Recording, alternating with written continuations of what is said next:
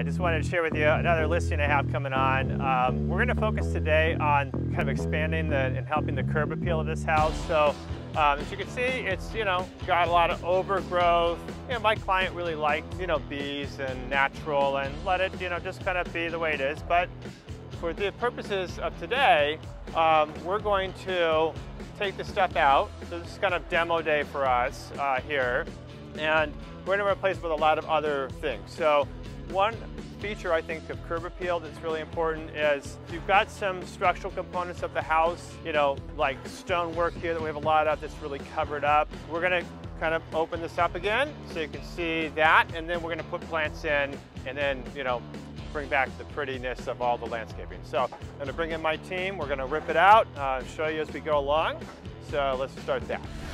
So we've got Jose here. Um, he's going to start cutting. So we're to take, Jose, what, everything out of here, right? Yeah. So it's all going to be opened up. Mm-hmm. Uh, we're going to leave this uh, maple tree, clean it up over here.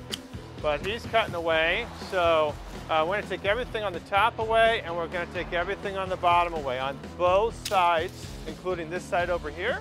We'll take a look at it as you, as you kind of get stuff out you can start to see we're taking stuff off. Uh, you can see the house a little bit more. And, you know, curb appeal, you know, really is the factor of, you know, being able to see the house. And if you can't see it, you really can't sell it. So when you're looking at, you know, maybe your house and you want to maximize the curb appeal, being able to see some of the really? architectural features of the house are important, and the, and the landscaping really should just accentuate that. Right now, you know, these are pretty, but um, they're overgrown, so they're taking and distracting from the house. So as you can see, we're starting to get a pile of stuff here. Um, scroll over there for a second. We've got, you know, them working still. We're kind of cleaning it up. You can see now that the house is a little more exposed. So let's uh, walk through just for a second what we're going to do here.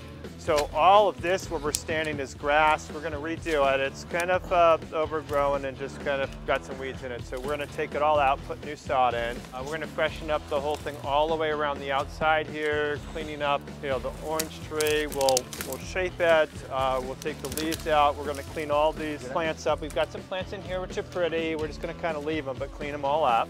You know, put some bark in here. But the focal point is to be in the in the house so we're going to have either side of the front door, we're going to have uh, globe boxwoods, which are really pretty, that are a special order. So there'll be two of those on either side. And then we're going to have um, white cyclamen, because right now it's, it's January, so there's not a lot of flowers that are in bloom that are really showy. So that's a really nice one. So we're going to uh, do a row of those in the front, on the top, and on the bottom. So should have two layers of uh, cyclamen. And we'll probably mix it with something else that looks good, maybe something with a little bit of green in it. So we'll keep working here. So we've got Jose here for just a few minutes. Uh, thanks, Jose, um, uh, my gardener. And um, we're going to go through just a layout. So Jose, you've got um, these these globe boxwoods on order. Mm -hmm. What what size are they? Are they like 18 or 20 rounds, something like 20 that? gallons.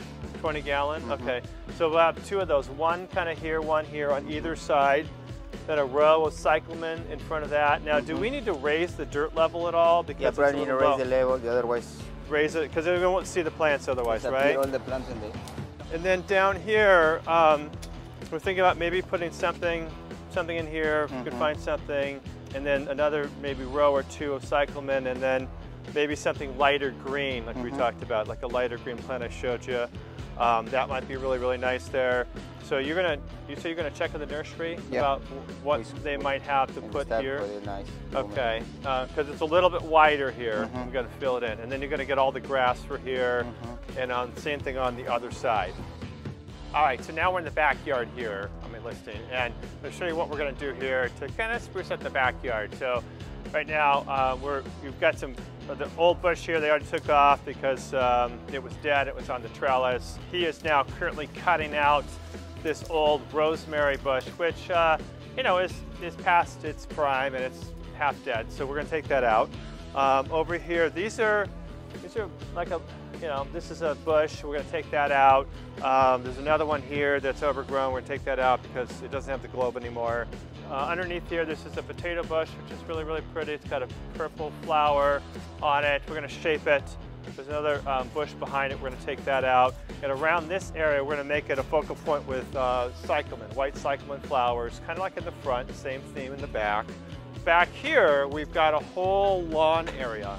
And so the lawn is overgrown and you know it's a little shady here with the trees. So uh, we are going to put brand new lawn in here. We're going to take it all out, put in sod.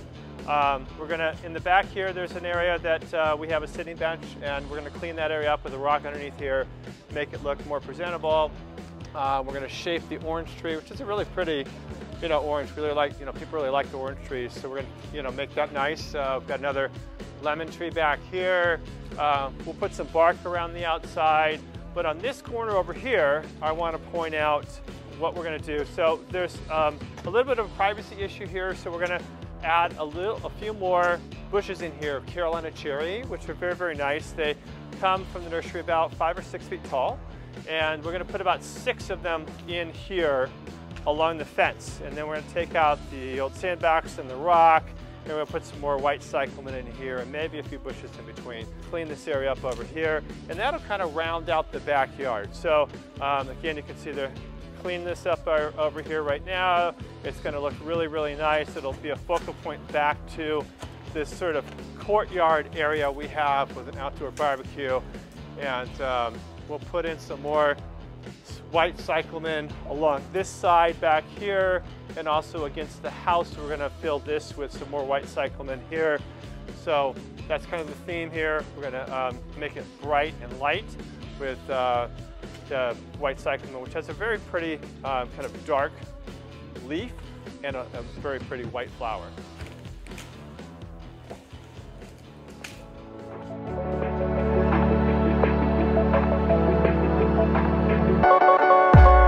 So we're back at my listing today and I wanted to show you we've made a lot of progress, really excited about it. Again, we're looking at the curb appeal here.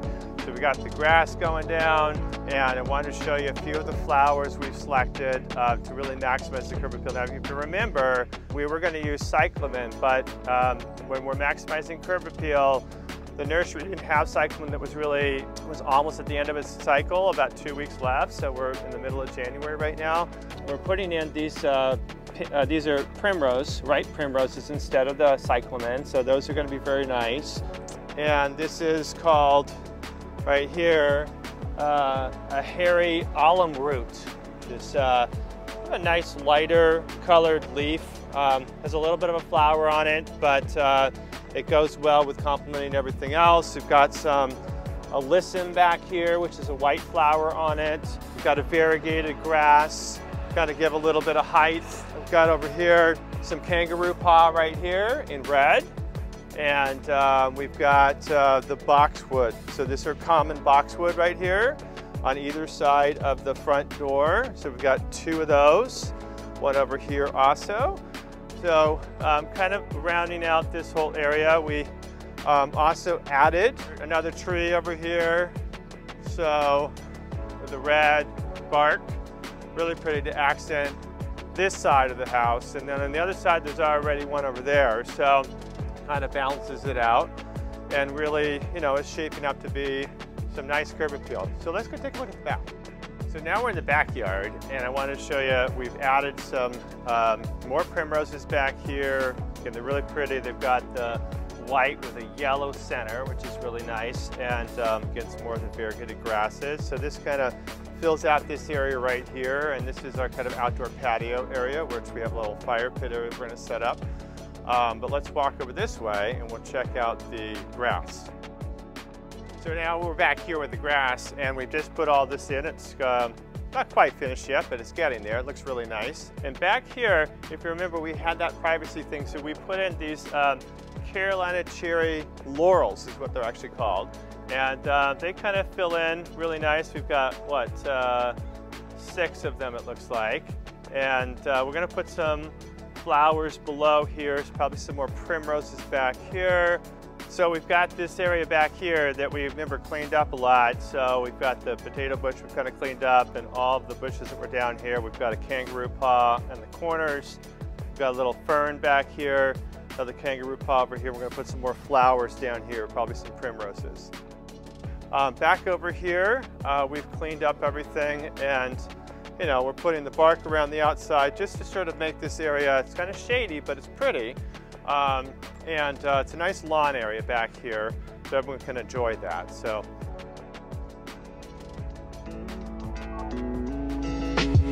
Hey, so I'm back at my listing here, and we are ready to go on the market, really excited. Um, here's the curb appeal we have ended up with on the front porch where a buyer's gonna end up. Or again, you know, if you want to do this to your own house, you know, maybe some get some pointers from this video. But let's take a look. Let's step down here, take a look. They just kind of cleaned it up, so it's a little bit wet still.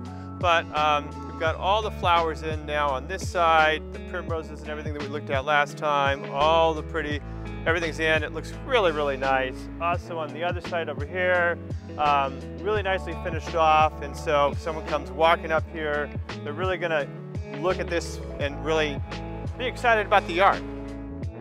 All right, so I'm gonna take a quick close up here. Check it out. Now let's look at all these really, really nice flowers. All of this landscaping that's got the grass, you got the lighter colored, that uh, hairy alum root, you've got the beautiful primroses. Everything's all in. It really sets off the house. It sets off the wall. Really accentuates the colors on the home and the architecture. It's really, really nice. So I just want you to check that out.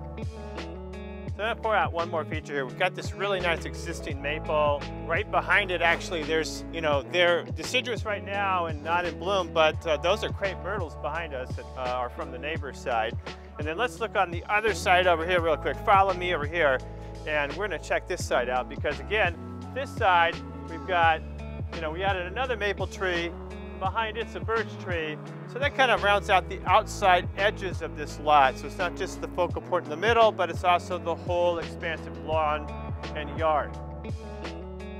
All right, so we're in the backyard now again, and uh, this is a finished. We've got everything out here all ready to go.